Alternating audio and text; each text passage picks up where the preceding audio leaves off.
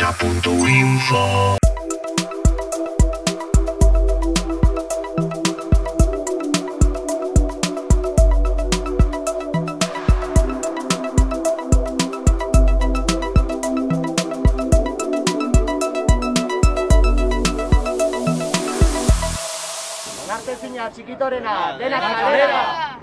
Otra vez la cárcel, otra vez un vecino a la cárcel y otra vez el sufrimiento a nuestro barrio.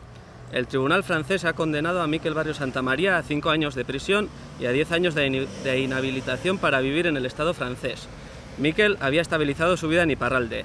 Lleva 12 años lejos de Arrosadía. Fue detenido primero en 2009 y aunque la euroorden solicitada por España no fue aceptada por el Estado francés, decidió huir por acoso policial.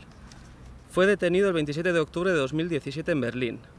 Tras dos meses encarcelado en Alemania, Alemania aceptó la euroorden solicitada por, por Francia y fue encarcelado en la prisión de Osny en París, desde el 15 de diciembre de 2017 hasta el 26 de octubre de 2018. Con medidas judiciales ha estado unos meses en libertad condicional.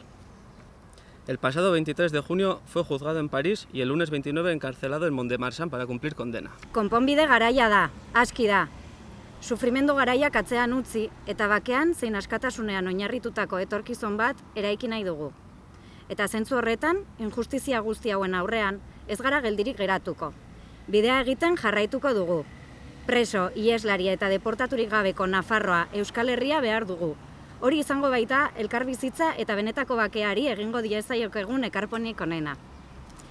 Aldi berean, Estatu Espainiarrari, Frantziarrari eta nola ez, Nafarroako gobernu eta erakundeei bide horretan inplikatzea exigitzen diegu.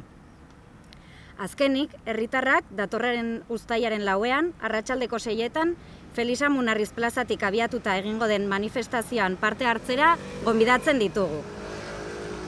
Besarkada handi bat Mikeli eta senide guztiei, izan bidea eta presoak etxera. Oianek ez dago.